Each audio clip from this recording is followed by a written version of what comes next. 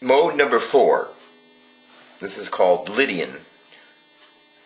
Starts on the fourth degree of the major scale, and you just continue up like you do with all these modes.